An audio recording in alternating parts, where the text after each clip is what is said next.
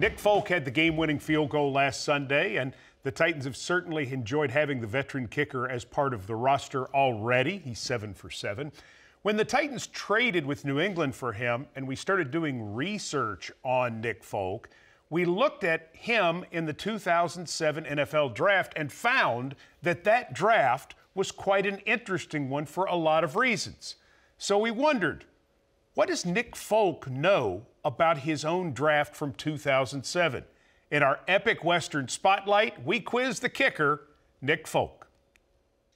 Nick Folk, drafted in 2007. Do you remember what pick you were in the 2007 draft?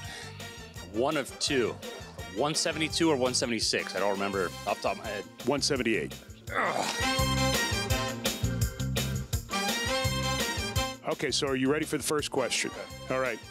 Who was the first overall pick in the 2007 NFL draft? Jamarcus Russell played LSU in 06. Arizona went to LSU and we had to play them, and they were stacked. They had, I think, maybe five first round picks that year from LSU. So, so this is an Arizona related question. Number two, who was your former Arizona teammate selected 50th overall in the 2007 draft by the Tennessee Titans? Chris Henry, running back. Very good. You know what he was most famous for here? Do you remember the Daryl Reed hit in the Colts game on the kickoff return? Yeah, I, I think I, knew, I, I, remember vaguely, and he fumbled, didn't he? No, he held on. He held on to it. Okay, but I remember that. Yeah. All right, final question.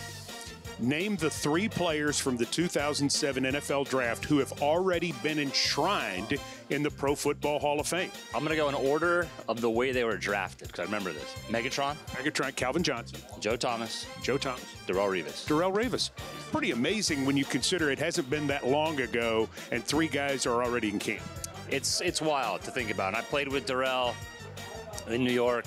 Um, and us to, you know, to kind of think about he had obviously a really great career, and where we are now, I'm still playing, and some of these guys are in the Hall of Fame. It's uh, and there's a five-year buffer for the Hall of Fame, and so it's it's impressive to you know to have played with some guys who you were drafted with in the same class, and um, they're already in the Hall of Fame. Nick Folk, pretty good job on the on the quiz for your draft year 2007. Thank you, I appreciate that.